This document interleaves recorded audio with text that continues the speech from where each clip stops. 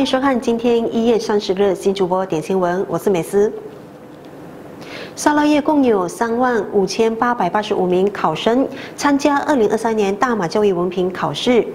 为了确保考生顺利复考，沙教育局成立灾难委员会，以监督是否有受水灾影响的考生。沙教育局局长拿督阿兹哈说，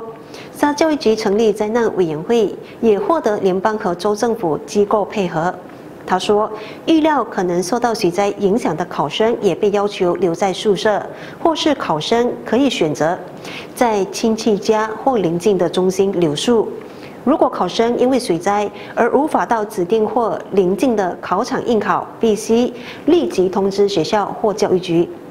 大马教育文凭考试即日起到三月七日进行，全沙共有两百五十七个考场，共有两千五百三十一名考官监考。美里毛宝国中家教协会连同家长和学校食堂，在大马教育文凭考试期间，为了给考生加油打气，每天轮流到学校协助准备爱心早餐和茶点。马宝国中有四百八十八名考生，是全美里最多考生的中学。校长和教师一早就到现场为考生加油打气。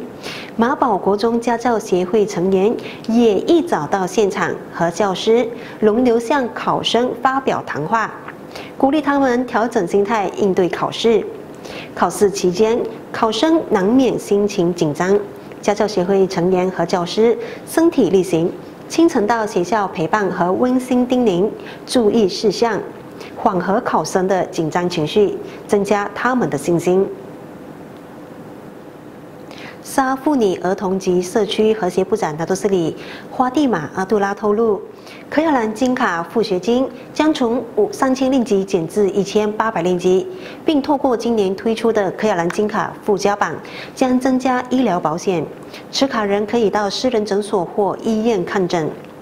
他今天下午为美里哥伦比亚医院成为科亚兰金卡策略伙伴主持推展仪式时披露，今年推出的科亚兰金卡附加版将改善现有金卡提供的福利。他坦言，过去确实有持卡的人士提出异议，表达希望在世时享有更多科亚兰金卡提供的福利。因为付学金是自己死后由受益人领取，因此经过深思。当局决定减少付血金数额，增加持卡人的医疗福利。他补充，这项福利将以家庭收入为条件，每个月家庭收入七千令吉以下的持卡人士才能享有医疗福利。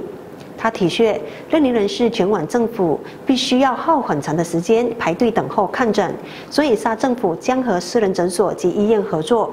让克亚兰金卡附加版持卡的人士可以到私人诊所或医院看诊。